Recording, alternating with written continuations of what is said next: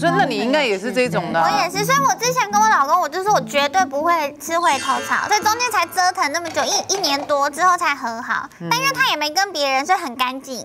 你是说哪方面很干净？就是他也没有跟别人交往啊。他没有中间没有他等他一年多。Ok 了解。